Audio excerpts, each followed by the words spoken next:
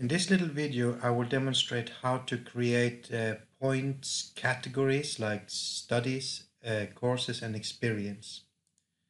At uh, Karuny e-learning, we have the option when students are resolving tasks to define if the tasks uh, is, is a course and should be given points as that. Or as you can see further down, there might be another one is a study task, which means they should have a study point. Uh, and at the end you might see some experiences which has not been made yet.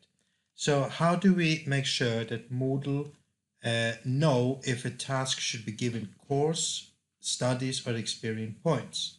That's what we get having to do now. First of all, get to your overview over your different courses. Uh, the settings we are doing now has to be done for each of the periods. Uh, I it has been done for number one, Number two, I've just tested, so I will try one which we have never test, uh, done before. So period three, I open that, I'm in as a teacher or administrator.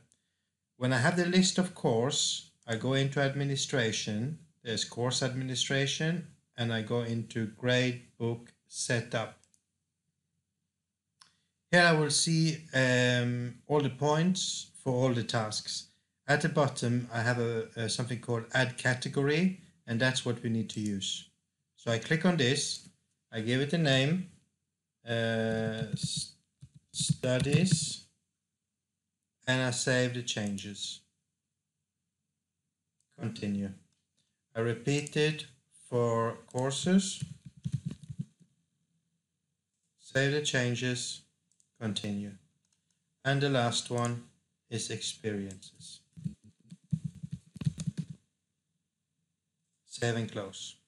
Now I have created the point categories. So what's the next step? Well, I'll go back to my course. We are talking about period three. I go into the first one, which is a course.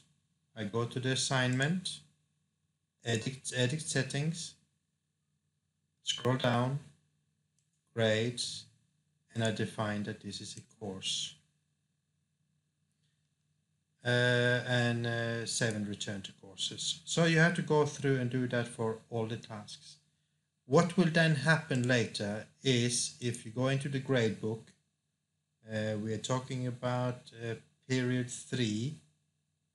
Uh, of course, I don't seem to be a teacher there. All right, I forgot to enroll myself as a teacher for the course, but now I'm a teacher for the course.